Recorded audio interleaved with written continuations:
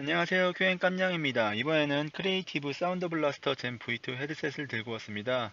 이 제품은 블루투스 신호를 활용하기 때문에 2.4GHz RF 신호를 활용하는 제품과 비교해서 반응 속도나 품질이 떨어질 수밖에 없는데요. 그럼에도 불구하고 Creative는 적정한 가격에 큰 만족도를 제공하는 기업으로 유명하기 때문에 어느 정도 기대를 해볼만 합니다. 상품 설명에는 마이크 두 개를 내장했다고 하는데요. 퀄컴의 CVC 8.0 noise cancelling 기능도 포함되어 있다고 합니다. 그러면 평소처럼 키보드와 마우스 버튼을 눌러보도록 하겠습니다.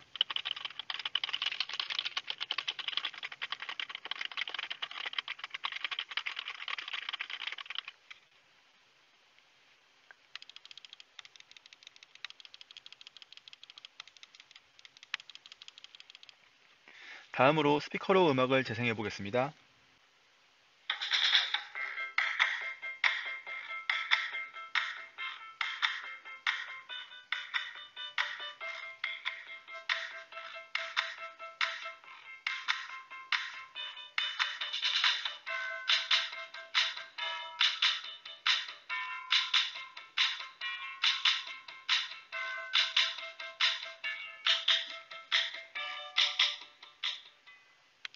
noise cancelling 기능을 포함했다곤 하지만 마이크 자체를 입 앞으로 배치할 수 없으므로 전지향성으로 설계할 수밖에 없었을 겁니다.